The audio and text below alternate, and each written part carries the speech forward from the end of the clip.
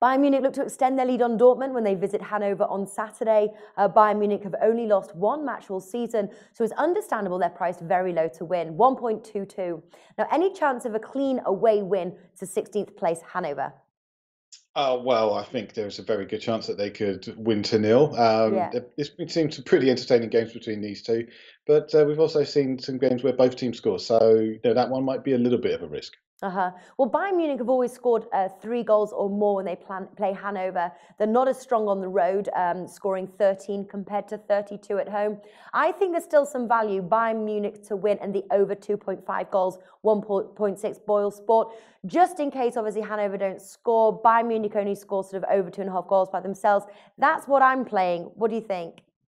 I think that's reasonable. I think if you're going to go into the, the match odds markets at all, then I think you're going to look to see the odds be quite low. So, you know, that's that's not too bad. Uh-huh. What are you taking in this match?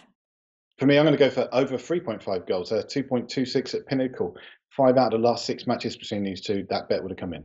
Yeah, yeah. You don't think that that's brave, obviously, because Bayern Munich are on the road. They definitely they score almost like half the amount of goals that they do at home. Uh, so the question is, is can Hanover score? And are you expecting Bayern Munich to score all of those goals by themselves? I think they could very well score all those goals by themselves. Uh, Bayern Munich, they've kept what ten clean sheets in 16 games so far this season. I think we might need them to score all four goals on their own just to win this one. Yeah, I think so as well. Now, tipsterhq.com, it's a service where you're where everybody comes in and they share their tips. Um, how do you sign up for this? And you, you were mentioning as well that you've got some free spaces available. How many of those are left?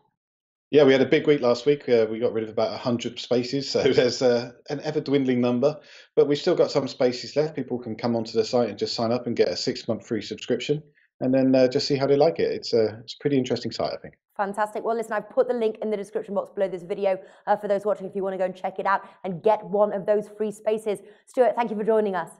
Anytime.